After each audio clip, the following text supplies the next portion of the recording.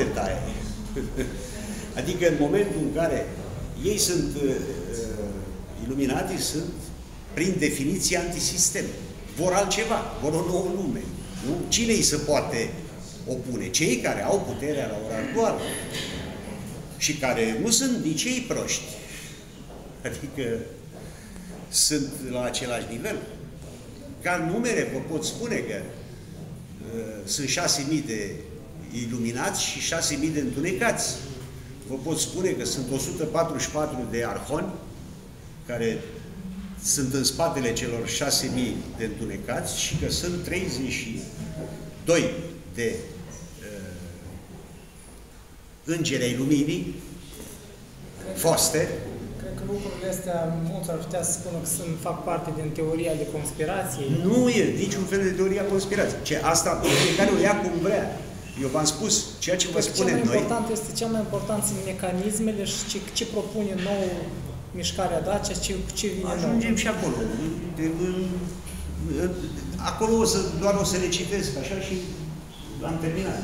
Termină epoca și zodia. Haideți odată să ne lămurim cu meritocrația. Gata. Hai să vedem. Unde eram aici? A, de, deci, re, uh, iluminații sunt în spatele revoluțiilor. Deci, Revoluția Americană, franceză și bolșevică. Deci, gândiți-vă cam, cam cum ar uh, reacționa cineva împotriva iluminaților care vor o altă revoluție iluministă. Despre Iliescu. Ăsta este Abraxas. Dacă vreți să-l să vedeți cam cum apare, sunt simboluri care numai în mod individual puteți să le descoperiți și să le înțelegeți.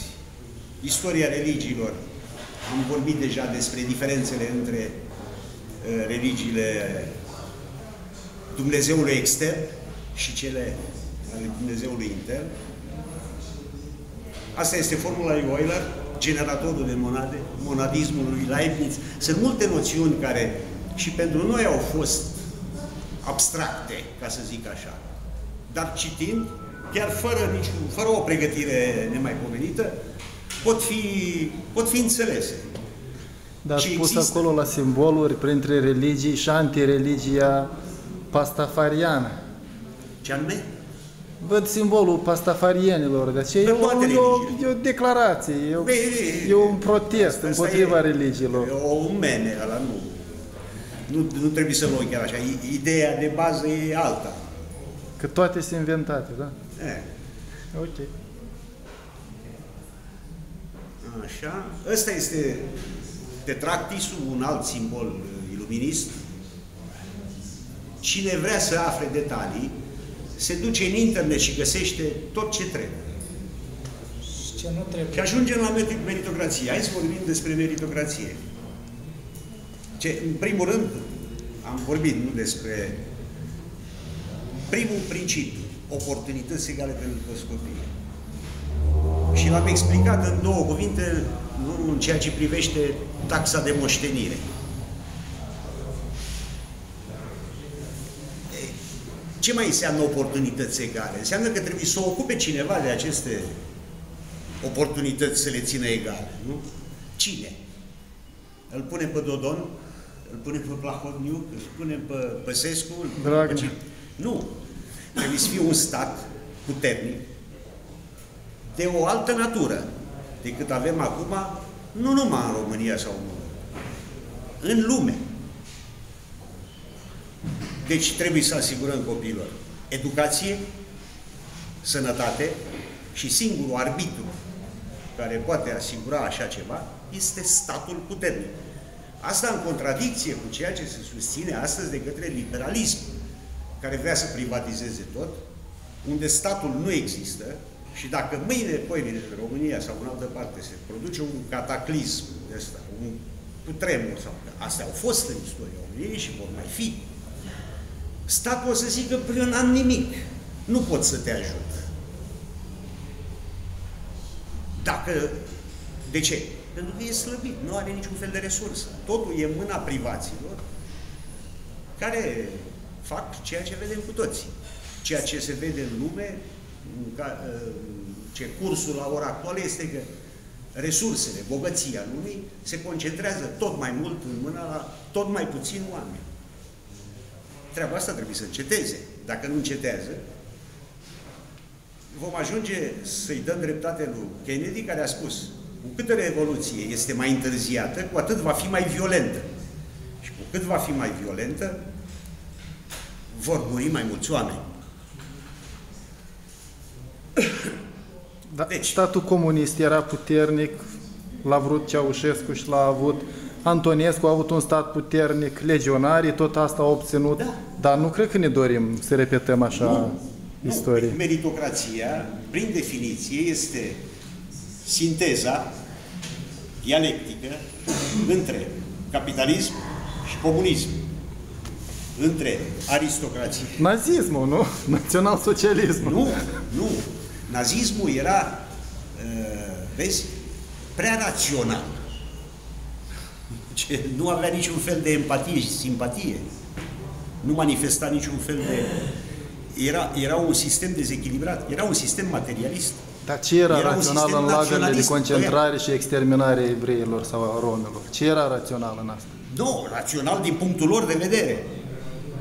Din punctul lor de vedere. Ce, nu, nu, nu poți să spui că din punctul lor de vedere era irațional. Așa cum, uh, știu eu, din punct de vedere, uh, dacă citim Biblia, nu?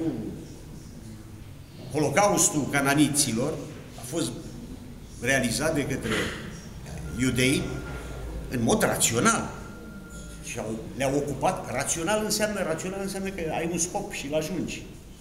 Le-ai ocupat teritoriul, ți-ai uh, stabilit baza acolo, dar era numai rațional. Nu era emotiv și senzitiv, pentru că nu s-au gândit și la copiii aia cananiți și la... Nu? Exact același lucru. Ce putem vorbi de holocausturi nenumărate. În, în America au murit 100 de milioane de indieni și nimeni nu vorbește. În uh, America de Sud, la fel. Toate aceste holocausturi trebuie să dispară. Cum? Cine le-a generat?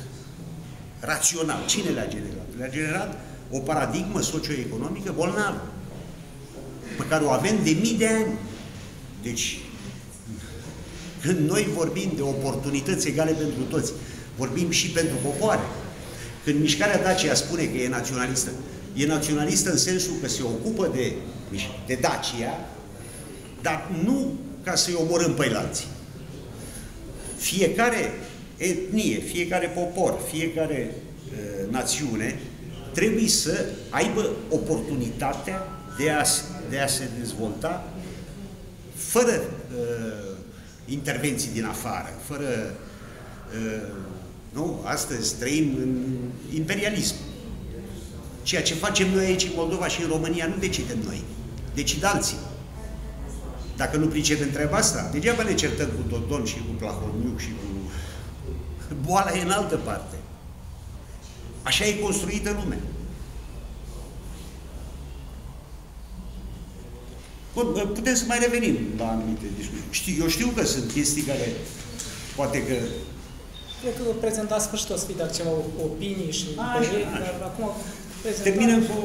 Deci, evident că pentru oportunități egale, că ăla e principiul zero, oportunități egale. Din ăla rezultă toate celelalte. Trebuie să dispară privilegiile, nepotismul, pile, relații și tot ce mai vedem în jurul nostru azi. Trebuie să fie mai puțină muncă. Pentru că sistemul de astăzi ne ține ocupați cu munca ca să nu putem să citim. Asta ca să zic una. Pe de altă parte, există studii care spun că cel puțin 75% din activitățile omenești actuale sunt futile. Nu au niciun fel de efect social. Nu? Și aici, dacă ne gândim la fotbaliști, la bănci, la o grămadă de oameni care câștigă resurse enorme și care nu produc nimic. Ce produce un fotbalist? Cu toate astea, un fotbalist are, ia într-un an, cât iau trei cercetători științifici într-o viață. Vi se pare rațional? Atunci, dacă ieșiți în piață, domnilor TFNI la București, nu ieșiți împotriva corupției. Ei ieșiți voi împotriva fotbaliștilor. Ei ieșiți voi împotriva Simone Halep. Simone Halep. Adică, oameni de știință, mari genii, mor tăiați cu scoica și avem celebritățile astăzi, care sunt ignoranți, îl avem pe Gigi Becali, care e mare bogătaș, avem o grămadă de, eu folosesc un termen, nu o să-l folosesc aici, zic majoritate democratică, dar e o turmă care se duce la stadion și care plătește bilete ca să vadă niște golani care aleargă după o bășică. Vi se pare rațional? Ieșiți, fraților, luați atitudine, nu vă mai duceți. Eu, de exemplu, nu mă uit la televizor, nu mă uit la meciuri, nu mă uit la toate prostiile care se dau, pentru că efectiv le timp pierdut. Și cum pot fi, cum pot fi impuse sau aceste principii? Pentru că, cu siguranță, foarte mulți Ce, noi încercăm de 9 ani să le, implic, le implementăm în uh, arealul Carpato-Tunăreanul Pontic și nu reușim. Probabil că Revoluția va veni din nou de afară. Așa cum s-a mai întâmplat, se va schimba. Ca să vă dau un exemplu, Consiliul de Conducere Iluminarii a domnit din 12 persoane. 5 în America, 5 în Occident, unul în Rusia și unul în India. Hai să vedem de unde ne așteptăm o schimbare. Din China. S-ar putea. S-ar putea. Și uh, când o să citești a treia carte care e scrisă, o să vezi că este o posibilitate. Fiecare al șaselea pământeanii China man. Sunt mai multe de spus aici la China. Cert e un lucru, că lumea nu, nu, prea, nu prea știe ce e China. Mulți zic că sunt capitaliști, alții zic că sunt comuniști. Iluminatii, ce vă pot spune că din istoria Iluminatii, ei uh, au avut sediu, ca să zic așa, unde a fost puterea. Adică au fost în Grecia, au fost în Alexandria, au fost în în ultimul timp au fost în Marea Britanie și nu se știe dacă nu se vor duce în China. Pentru că acolo se dă lupta. La vârf. Ceea ce facem noi e numai până la gradul 6 iluminati. Mai sunt gradele misterilor pe care Bun. Deci muncă mai puțină ne-am memorit, nu? De ce? Grilă de recompensare. Ca să nu mai existe aceste mari diferențe, experimentăm ceva ceea ce comuniștii au experimentat. Grila de salarizare, adică limitarea câștigului. Într-o limită de solidaritate, adică cei care câștigă de 10 ori mai mult, de, în mod sigur, contribuția lor la umanitate e mai importantă de 10 ori decât ultimul om. Dar elita pe care o gândim noi este o elită altruistă, nu individualistă. O elită care știe că mintea colectivă a omenirii crește dacă creștem cu toții. Nu dacă creștem izolat.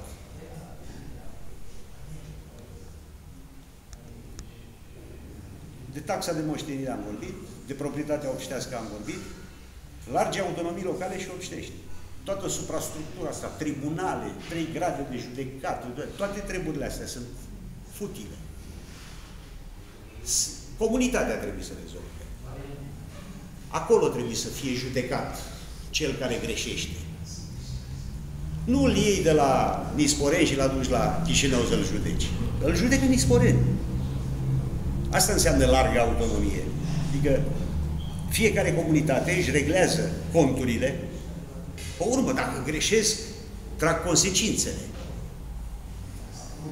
Cert e un lucru că statul care stă deasupra dă aceste principii, dă aceste reguli principale și ei se încadrează sau nu, că de aia sunt autonomi. De asta, asta înseamnă.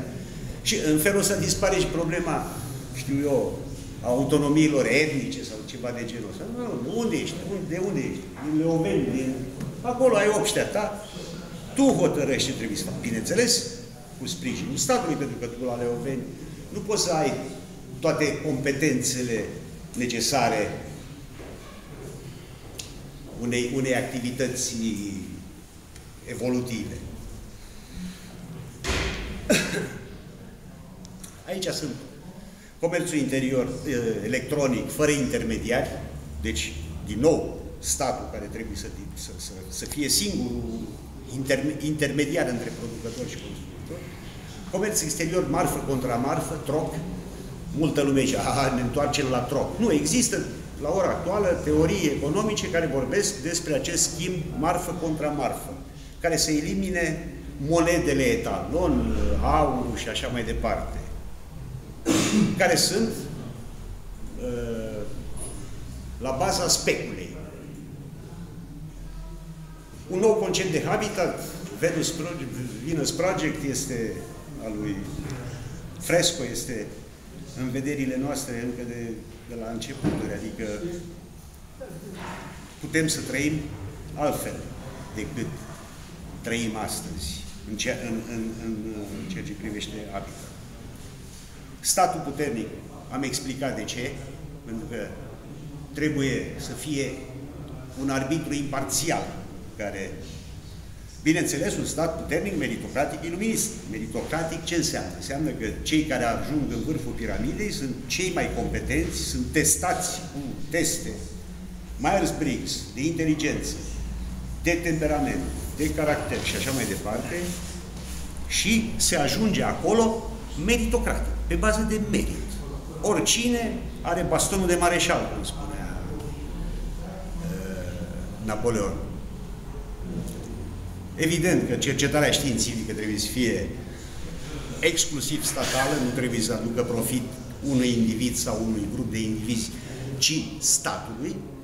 Organele mediatice nu trebuie să mai fie de manipulare a opiniei publice, ci trebuie să fie de informare, de culturalizare, de ridicare a nivelului uh, cunoștințelor. De obicei, cea mai mare argument împotriva acestei teorii este faptul că va dispărea, dispărea această inițiativă proprie. Atunci când nu va mai exista goana după profit, omul nu va, nu va mai fi motivat să lucreze. Sau de ce o, să, ce o să-i motiveze pe oameni să nu-și aleagă toți fii pictori sau ceva? Cine o să... Concurență. Pentru că tu, Cine o să în, în societatea viitoare, tu știi că Dumnezeu e în tine. Ce tu nu trebuie să dai socoteală altuia, trebuie să dai socoteală ție. Când copiii noștri vor fi educați de la început în acest spirit că ei trebuie să dea socoteală lor înșine, atunci când noi, societatea, statul, va organiza copiii, îi va educa, rupți de actuala paradigmă, le va, le va, le va, le va preda filozofia, matematica, psihologia. Și nu credul sau înger, îngerașul meu, când ei vor pricepe treburile astea, vor crește bine. Conștientizând puterea, vor fi mai responsabili. Bineînțeles. Conștientizând faptul ce toți trebuie să fim conștienți de treaba. Noi nu trebuie să dăm socoteala altora. Trebuie să dăm socoteală nouă înșine. În noi se află judecătorul. Nu ne așteaptă afară. Noi față de noi înșine trebuie să fim uh, mai buni. Da, aici măsuri corelate, ONG-uri. Ce înseamnă ONG? Organizație non-guvernativă. Asta ce înseamnă? Înseamnă că e un stat slab care nu reușește să gestioneze situația și atunci să găsesc doi, trei autoreferențiați care să rezolve o problemă pe care trebuie să o rezolve statul. Deci, în cazul unui stat puternic, ONG-urile nu mai sunt vrei să te ocupi de ceva, te ocupi din uh, punctul de vedere, adică de, de pe poziția statului.